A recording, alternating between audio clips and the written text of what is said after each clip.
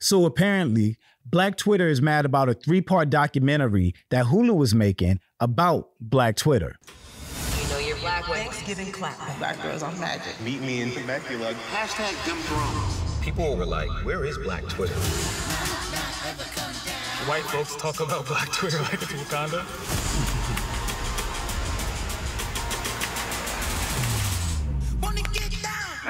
Let's go.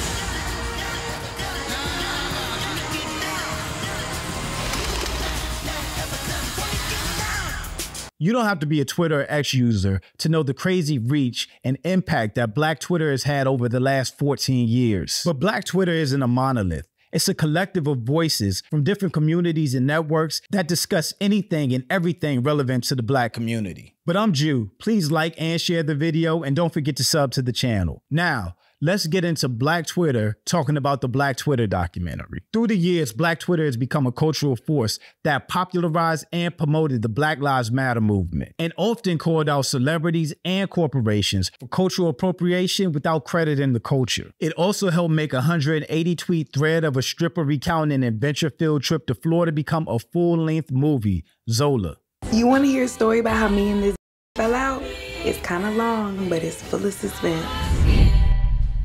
You want to go somewhere with me? That's my pace. Shut it so bad. Dear Heavenly Father, But back to this documentary, which is looking to chronicle the dominance of Black Twitter and how it became so influential politically and culturally. But the thing that makes Black Twitter so relevant, powerful, and influential is the regular people on Twitter that are powering these conversations. So as soon as the trailer premiered, there was immediate skepticism from the Black Twitter community about who and what this documentary was actually for, as well as who would it focus on and who were the contributors. So let's see some of the reactions from the people that make Black Twitter what it is. Question. If Black Twitter was present for all Black Twitter's antics, then who the hell is the documentary for exactly? We was all there. You can't explain the brilliance that is Black Twitter in any sort of documentary that won't make it seem corny as fuck. Far too nuanced, far too many contributors. It's one of those things you just understand without having to explain. Black Twitter arguing over whether that Black Twitter documentary is gonna include all the right people and topics is the most Black Twitter thing ever. The real meat and potatoes of Black Twitter is everyday people, not B-list black celebrities and pseudo-intellectual talking heads. But are there non-famous black Twitter people involved? The ones who actually move the app? That Black Twitter documentary looks like it might be when the yearbook staff made the yearbook, but they just made sure their friends were all in the yearbook and not really what was happening in school at the time. I know this is about to be corny as hell because the black people that actually made Black Twitter what it is are all non-famous black people. I only see well-known black people in this advert.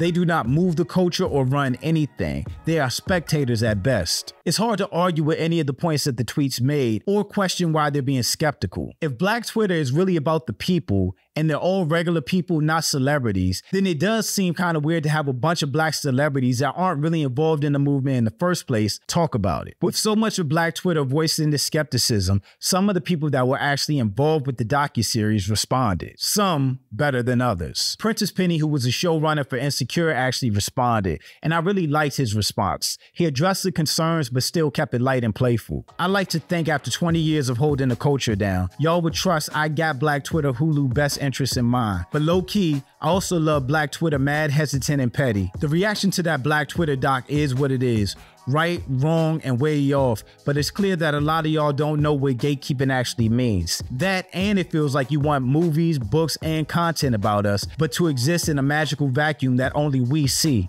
Cultural history is just stories. If nobody tells the stories, actually, let me be more specific. If the right people don't tell the stories accurately, they get lost. Secondly, this is not let's decode Black Twitter hashtags as a doc. It's about the community's growth and impact. When one of y'all create a password protected Black people only media outlet where we can archive our stories, let us know.